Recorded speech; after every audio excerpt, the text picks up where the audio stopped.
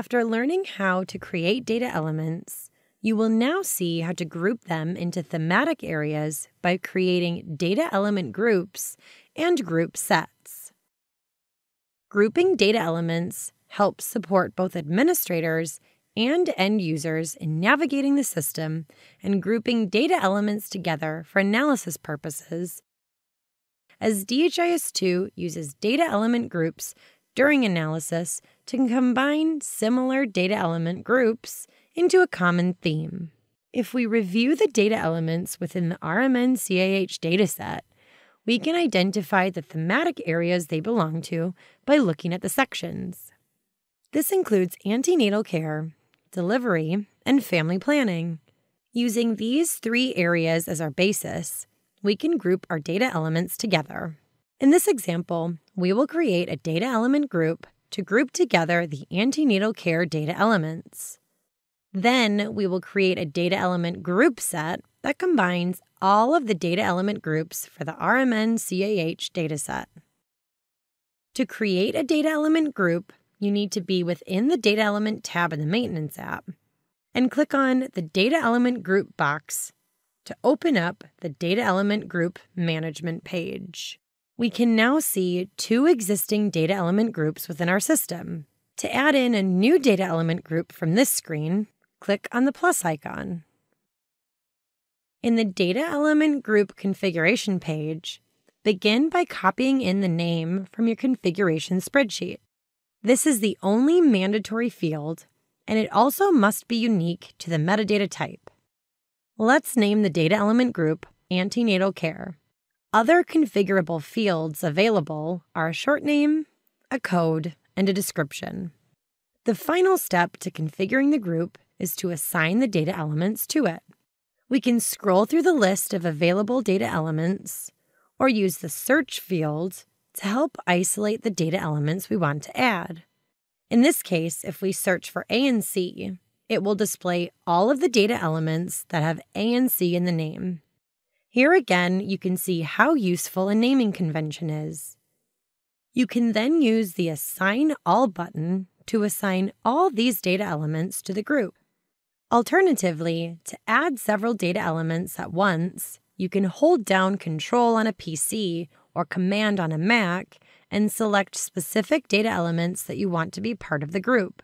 Then click on the arrow to the right to move them from Available to Selected. Once we have defined the data element group fields and assigned the data elements, click on Save.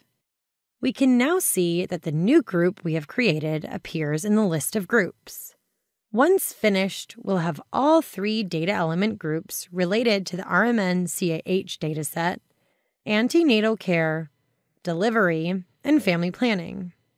To use these groups during analysis, we first need to group these together by creating a data element group set. Note that a data element group can be part of multiple data element group sets. To get started, at the left of the screen, click on the Data Element Group Set tab and then click on the plus icon. Give the group set a name and a short name. These are the only mandatory fields, and they also have to be unique to the data element group sets. Let's use RMNCAH for both fields. Next, we have a tick box field for a compulsory group set. If this is selected, all data elements within the DHIS2 instance must be part of at least one of the groups within this group set. In this example, we'll leave this field unticked. The next tick box field is the data dimension option. If this is selected, the group set will appear as a selectable dimension in the DHIS2 analytic applications. There are two important notes related to using a data element group set as an analytical dimension. First, if the data element group is to be used as the data dimension in the analytic applications, it is important that the data elements within the group add up to a meaningful total. This is because the output you will get in analytics will be a total of all of the data elements within that group. This implies that the aggregation type of all the included data elements is the same as well. In our example, for the ANC group, we would get the total number of any ANC visit that occurred, which would satisfy this requirement. Second, each data element should only be part of one data element group within the group set. This is to avoid double counting those values in analytics.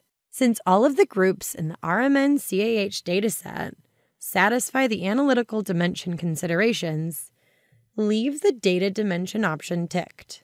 To finish the configuration, search for the data element groups you would like to add to the group set by either finding them in the list of available groups or by using the search field. Assign the relevant groups. Then click on Save to save the group set. Unlike data elements, it is much easier to create, modify, and remove data element groups and group sets because they have no effect on the underlying structure of the metadata that store data values in the system. This gives more flexibility for you to update the groups and group sets as your system evolves over time. Wrap up, creating meaningful data element groups and group sets will help users navigate the DHIS2 system to find the data elements they need and support data analysis. Data element groups allow grouping together data elements that share the same topic.